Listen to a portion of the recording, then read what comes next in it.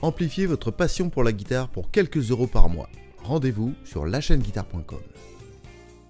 Bonjour à tous et à toutes, je suis ravi de vous retrouver sur la chaîne Guitare pour une nouvelle interview depuis le Guitar Camp 2020, édition numéro 2. Je suis avec The One Only Hassan HD. Je m'applique pour pas détruire complètement ton nom. Hassan, comment ça va ce matin déjà? Ça va super bien. Super bien. Et bravo, euh, il y en a pas beaucoup qui disent euh, bien mon nom la première fois. En général, ils disent Hadji. Ok. Bah, J'ai répété toute la nuit, hein, tu sais. hein.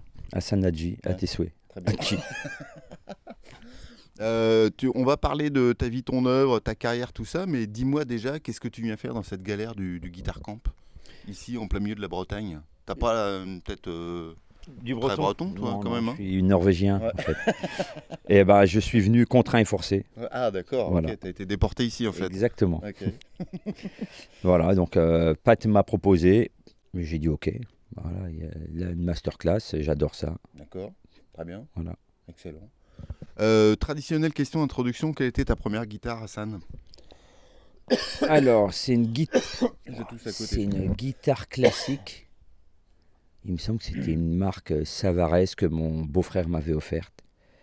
J'avais 9 ans, je crois, et voilà, c'était mon premier amour. D'accord, Et j'ai pu lâcher la guitare depuis. d'accord. Mm. Et a- après, c'était le euh, conservatoire, formation classique, Non. tout ça euh, Non. Non, c'était quoi? Non, non, non, je suis autodidacte. Voilà, j'ai ouais, j'ai pris euh, quelques cours de guitare euh, classique euh, au club guitare de- du bahut dans lequel j'étais quand j'étais en quatrième ou cinquième avec mon prof d'histoire géo. D'accord. Voilà, à l'époque. Mm. Et voilà, c'est les seuls cours que j'ai pris. Et après, c'était. euh, je suis passé donc euh, du, du- de la guitare classique à la guitare rock par le biais de Jimi Hendrix. En fait, dès quand j'ai découvert Jimi Hendrix, c'était la guitare électrique. D'accord. Voilà.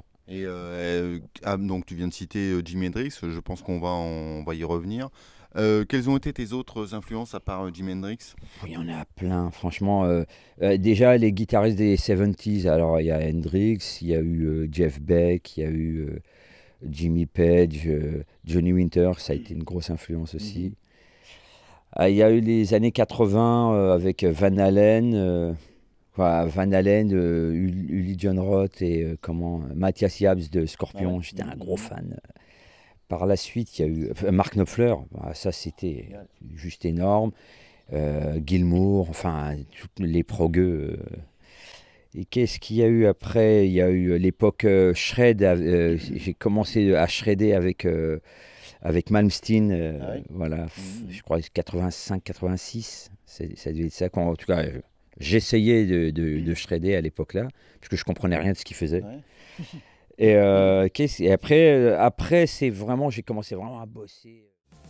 Pour le prix d'un magazine, abonnez-vous à la chaîne Guitare pour accéder aux vidéos intégrales.